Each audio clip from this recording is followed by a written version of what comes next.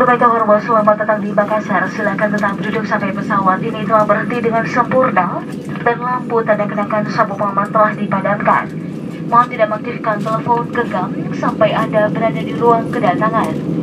Dan apabila membuka tempat bagasi kabin di atas, agar berhati-hati supaya tidak ada barang yang terjatuh.